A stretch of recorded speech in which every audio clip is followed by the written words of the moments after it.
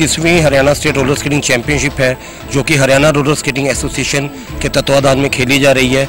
इसमें पूरे प्रदेश से तकरीबन हमारे पास अलग अलग आयु वर्गों में 24 टीमें भाग ले रही हैं। सब इसमें मैं आपको दर्शकों को बताना चाहूँगा कि चार आयु वर्ग हैं, कैडेट्स, उसके बाद जो कैडेट्स हम बोलते हैं जो under eleven boys and girls हैं, उसके बाद सब जूनियर उसके बाद जूनियर और उसके बाद सीनियर गर्ल्स हमारे पास सेक्शंस हैं। तो इसमें अभी तक जो मुकाबले हुए हैं, उसमें कैडेट वर्ग में पंचकुला और गुड़गांव कुरुक्षेत्र की टीमों का बहुत ही शानदार परफॉर्मेंस रही है।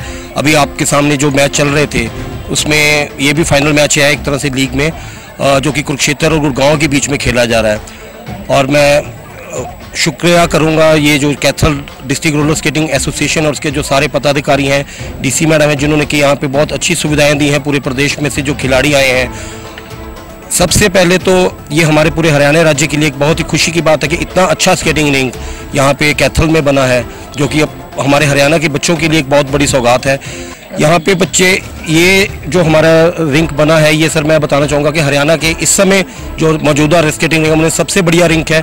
इसमें ये पहली चैंपियनशिप हो रही है मैं उम्मीद करता हूँ कि यहाँ पे हम किसी न किसी दिन कोई ना कोई अंतर्राष्ट्रीय इवेंट भी यहाँ पे आयोजन को चौबीस टीमें हमारे यहाँ पे पार्टिसिपेट कर रही हैं, जो इस पूरे टूर्नामेंट में अलग अलग जिलों से आई हैं। टीमें अलग अलग आयु वर्ग में, इसमें चार आयु वर्ग हैं।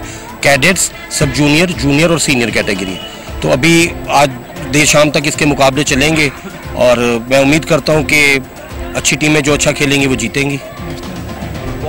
जी हाँ इसमें बॉयज़ और गर्ल्स दोनों आयु वर्ग होते हैं, जो हर कैटेगरी में बॉयज़ और गर्ल्स अलग अलग आयु वर्ग में खेलते हैं। और सबसे महत्वपूर्ण बात यह है कि इस राज्य स्तरीय प्रतियोगिता में जो भी बच्चे अच्छा परफॉर्म करेंगे, वो आगामी माह में जो विशाखापट्टनम में नेशनल चैंपियनशिप है, उसके लिए वो उनको सेलेक्ट किया जाएगा। फिर उसके लिए उनका एक प्रैक्टिस कैंप लगाया जाएगा, जो कि हरियाणा रोलर स्केटिंग एसोसिएशन की कोशिश यही रहेगी कि वो इतने अच्छे रिंक में जो कैथल में बना है, वो कैंप भी यहीं लगाया जाए। निश्चित रूप से, निश्चित रूप से देखिए किसी भी खेल में बच्चों का इंटरेस्ट पैदा करने के लिए सरकार का बहुत बड़ा योगदान होता है और मैं कहूँगा स्केटिंग के लिए भी हरियाणा सरकार की बहुत अच्छी नीति थी। अब काफ़ी हमारे खिलाड़ियों को सरकारी नौकरियाँ भी मिली हैं। हरियाणा सरकार ने हमारे लिए अच्छे अच्छे रिंक बना के दिए हैं। अभी हम, अब फिर से अभी हम खेल विभाग को हम आपके चैनल के माध्यम से रिक्वेस्ट करना चाहेंगे कि वो एक बार दोबारा से अपनी जो खेल नीति है उसको एक बार समीक्षा करें और जितने भी अच्छे खेल हैं उनको उनमें शामिल किया जाए। जो नए उभरते हुए खेल हैं, जैसे स्केटिंग है, इसमें छोटे छोटे बच्चे आप देख रहे हैं यहाँ पे कि कितना अच्छा परफॉर्म करते हैं कितनी मेहनत लगती है बच्चों की। तो निश्चित रूप से सरकार का सहयोग तो हर खेल के लिए बहुत ज़रूरी है। ना की टीम जो है मैं मुझे बहुत फ़ख्र के साथ मैं ये अपने दर्शकों को बताना चाहूँगा कि हरियाणा की टीम इस समय पूरे भारतवर्ष में डोमिनेट करती है। पीछे जो नेशनल चैंपियनशिप हुई थी। वहाँ पे 10 कैटेगरीज ने पार्टिसिपेट किया था सर उसमें से हम नौ पर उसमें कैटेगरीज में गोल्ड मेडल जीत के आए थे और एक में हम सिल्वर जीते। तो मतलब आप देखिए 10 की 10 टीमें हरियाणा की फाइनल में पहुँची थी। उसमें से नौ हमने गोल्ड जीते। लास्ट ईयर जो हमारा कंपटीशन हुआ था नेशनल उसमें भी हरियाणा की टीम ने बहुत शानदार प्रदर्शन किया। इस साल भी हमारी जो नेशनल प्रतियोगिता है, हम पूरी कोशिश करेंगे कि हम हरियाणा का नाम पूरा रोशन कर सकें और अंतर्राष्ट्रीय स्तर पे जो टीमें जाती हैं, उसमें हरियाणा की एक बहुत बड़ी भागीदारी है। हरियाणा की लड़कियों की टीम एशियन गोल्ड मेडलिस्ट है। लड़कों की टीम हमारे जो है, वो एशिया की मेडलिस्ट हैं। काफ़ी अच्छी परफॉर्मेंस रहती है और उसमें सबसे बड़ी बात है, हरियाणा के खिलाड़ियों का बहुत अहम योगदान है। यहाँ पे स्केटिंग काफ़ी टाइम पहले ज़्यादा नहीं थी लेकिन पिछले कुछ सालों से यहाँ काफ़ी इम्प्रूवमेंट हुई है और लोगों को इम्प्रूवमेंट का कारण ये था कि सरकार ने बहुत अच्छा इनको सपोर्ट दिया है। जैसे यहाँ के लोकल प्लेयर भी इंटरनेशनल में और नेशनल में तीन तीन गोल्ड नेशनल में जीते हैं उन्होंने और इंटरनेशनल में भी हमारे यहाँ का प्लेयर गोल्ड मेडल जीत के आए थे। तो इस वजह से लोग अब इस रिंक बनने के बाद थोड़ा और इस गेम की तरफ़ जाएँगे क्योंकि पहले यहाँ रिंक नहीं था और ये फैसिलिटीज़ नहीं थी।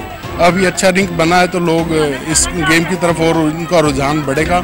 और सरकार से मैं फिर एक बार माइकल सर के जैसे रिक्वेस्ट करूँगा कि इस गेम को खेल नीति में समीक्षा करके ज़रूर खेल नीति में इसका, इसको जोड़ें और इसको फिर वैसे पहले की तरह इसका बेनिफिट प्लेयरों को मिलना चाहिए। मनप्रीत सिंह फरीदाबाद से और मैं लगभग 20 साल से खेल रहा हूँ और इनलाइन हॉकी हमारा ये गेम है और काफ़ी पॉपुलर गेम है। इस गेम के हमारे जो प्रेसिडेंट हैं I S mister Amit Kumar Agarwal ji और सेक्रेटरी हैं मिस्टर जितेंद्र डिंगरा जी। उनकी फुल सपोर्ट है और ऑर्गेनाइजिंग कमेटी बहुत अच्छी है यहाँ पे। जो टूर्नामेंट इन्होंने ऑर्गेनाइज़ कराया, बहुत ही अच्छे लेवल पे ऑर्गेनाइज़ कराया है और हम आशा करते हैं कि टूर्नामेंट अच्छा होगा। जी बिल्कुल इससे प्लेयर्स का रुझान जो है वो बढ़ा है। सरकार के बहुत थैंकफुल हैं प्लेयर्स जॉब्स के लिए भी और अवार्ड्स के लिए भी। चाहते हैं कि सरकार ऐसे ही आगे उनको सपोर्ट करती रहे। क्या मानते हैं? एक प्लेयर के लिए सबसे ज़्यादा ज़रूरी होता है कि वो कोचिंग ले अच्छी कोचिंग ले अपना अच्छा गुरु धारण करे। जब तक कोई प्लेयर अपना अच्छा गुरु धारण नहीं कर सकता तब तक वो अच्छा प्लेयर नहीं बन सकता।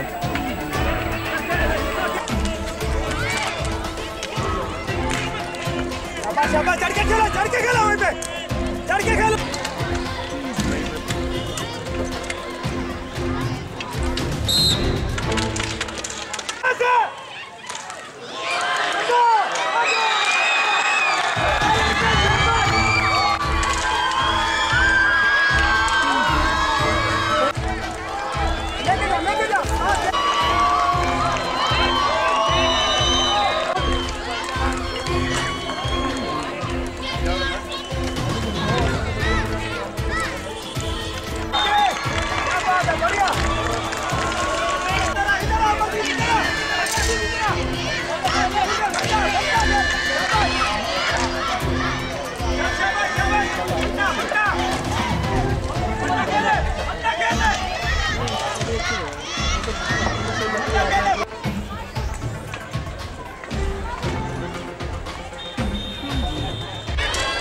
नाम जशनदीप है, मैं सिरसा से बिलोंग करती हूँ। सिरसा के जो हमारी टीम है, सिरसा की तरफ़ से खेल रही है। और मुझे 14 इयर्स हो चुके हैं यहाँ पे खेलते हुए। तो ये बहुत अच्छा एक्सपीरियंस है मेरी लाइफ का कि मैंने स्केटिंग ज्वाइन की। यहाँ पे हमें बहुत सारी फैसिलिटीज़ दी जा रही है हमारे फेडरेशन के द्वारा। एंड बेस्ट प्लेयर्स को चूज़ किया जा रहा है नेशनल लेवल के लिए। तो ये बहुत अच्छा लग रहा है यहाँ पे। क्या मानते हैं? ये फेडरेशन का भी एक सिस्टम है जो हमें मोटिवेट कर रहा है प्लेयर्स को आगे आने के लिए, जो हिडन टैलेंट है उसे ढूंढा जा रहा है और गवर्नमेंट भी हमें बहुत सपोर्ट कर रही है इस बेसिस पे तो उनकी वजह से ही हम ये सब कुछ कर पा रहे हैं। हाँ जी, ये पहले रहता था कि बच्चों को पढ़ाई में ज़्यादा निकलना चाहिए, लेकिन अब हम देख रहे हैं क्रिकेट में भी बहुत आगे निकल रहे हैं कि अब प्लेयर्स को इस फ़ील्ड में निकलने का मौका मिल रहा है गवर्नमेंट उन्हें सपोर्ट कर रही है तो इसलिए पेरेंट्स अब इस साइड भी बच्चों को पूरा ध्यान दे रहे हैं। अब उल्टा भी हो गया थोड़ा सा।